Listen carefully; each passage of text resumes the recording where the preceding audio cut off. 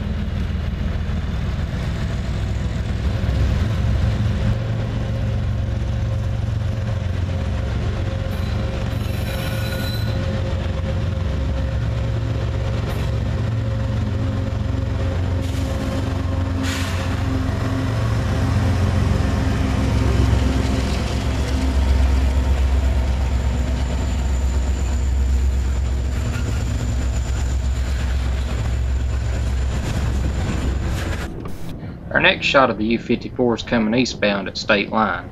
He's just crossed the border into Virginia.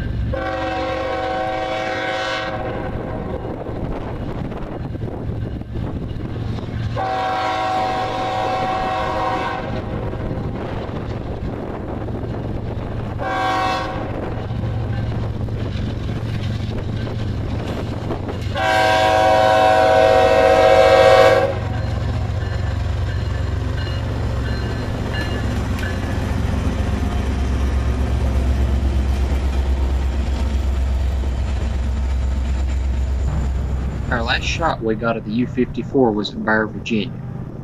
He would stop just ahead due to congestion at Weller Yard.